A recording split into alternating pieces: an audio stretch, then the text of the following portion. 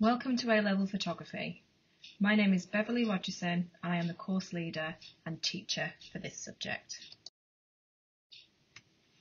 A-Level Photography will allow you to expand on your creative horizons by taking and editing photographs.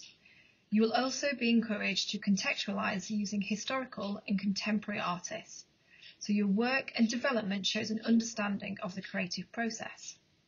Over the two years, you'll gain knowledge and understanding of the digital SLR cameras.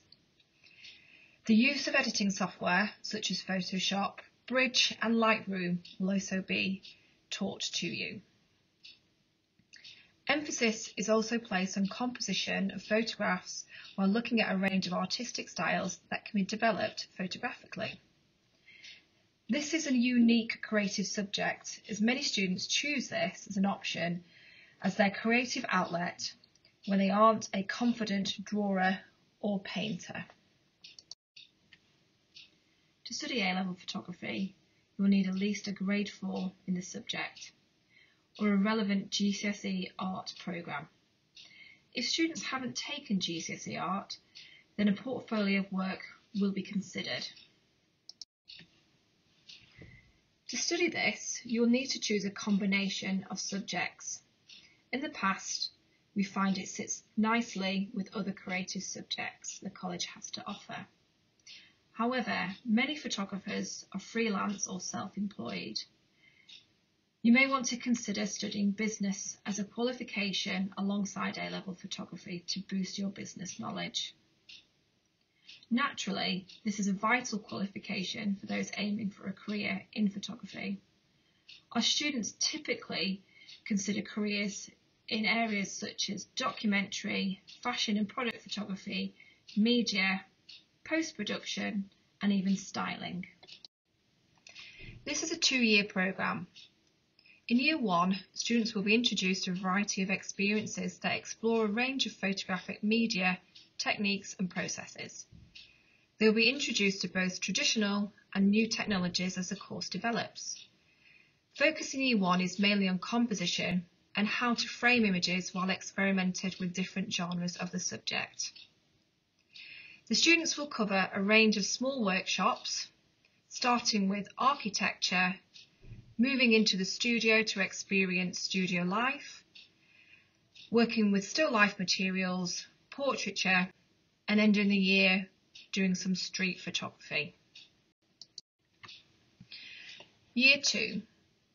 The year is split into two units, Component 1 and an externally set assignment. The students will produce work based around a chosen theme and subject matter developed from a personal starting point. Component 1 is a personal investigation which allows students to develop a portfolio of practical work alongside a written assignment of a minimum of a thousand words that shows critical understanding in relation to a practical portfolio. The personal investigation is internally set and assessed and externally moderated. Component 2 is an exam unit. This component incorporates two major elements, the prep work and then the 15 hour period of sustained focus.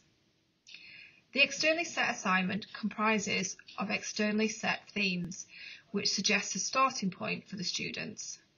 They will then be expected to develop their own personal work from this theme related to different starting points. This is also internally assessed and externally moderated. So how this course is assessed. A-level students will use sketchbooks and workbooks to demonstrate project management throughout practical learning, ideas development and critical analysis. Coursework takes the pressure away from traditional exam times. There is, however, a timed exam for this final production of Component 2. This only contains a small proportion of the marks and is assessed with entire coursework.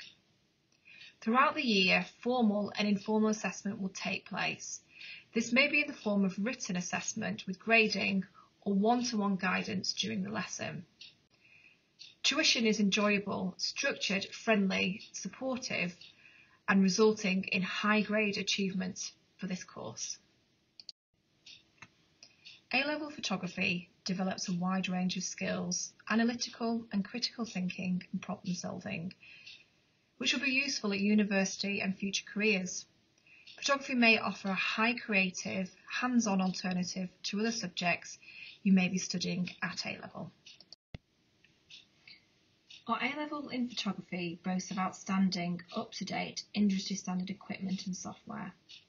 As part of the course, you will all have the opportunity to work in a professional lighting studio equipped with high-tech Profoto lights, access to the use of a traditional darkroom and Photoshop tutorials in our Mac suite.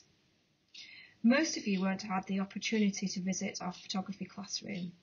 The room itself has an adjoining studio and darkroom. This allows the students to work confidently in the areas knowing that technical support is close at hand. On the course, you will get the opportunity to work with the Canon equipment. We have three digital SLRs for students to learn when working in the studio. We also use a Canon photo printer when students complete their edits. These are high quality printers. As part of the second year, we offer all the students to experiment with traditional photographic materials by using the darkroom. Here students can develop their own black and white film alongside black and white prints. It's something we have found to be very popular and it is even making a comeback at universities. At the end of the two years, the students will all experience how to create an exhibition. Second year students are invited to take part in an end of year show.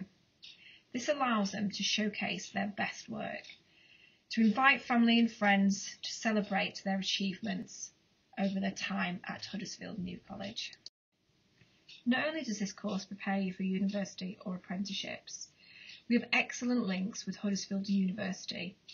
They offer talks for our students applying for a degree in the subject and workshops to experience life on campus. In addition to this, professional workshops and talks have been run over the years. This is where we ask our ex-students who are now working in industry to come back and discuss life after New College. Some even have run professional lighting workshops for our students to gain industry experience. These have been well attended and feedback has been positive. Here is a small example of students' work you can see that there is a diverse range of topics in creative knowledge. We encourage students to channel their own unique style while on the course, resulting in some truly outstanding imagery. Students who may be studying two creative subjects may even choose to draw from their knowledge and combine the two together. For example, a student studying photography and fine art wanted to have a crossover of the two and combine their work creating a beautiful photographic and fine art hybrid. This can be seen in the bottom right hand of the screen. We encourage that all students work in whatever way they feel will help them in their chosen career path. This is Melanie Ford. Melanie is one of our highest achievers, gaining a grade A in the subject. Melanie decided not to continue with photography at university, but choosing a career path in psychology with counselling at Huddersfield University. Despite this choice, photography has helped her gain confidence and also showed her that photography can also play a big part in the psychology industry. Melanie researched the possibility of combining her creative knowledge by looking into art or phototherapy as part of her studies.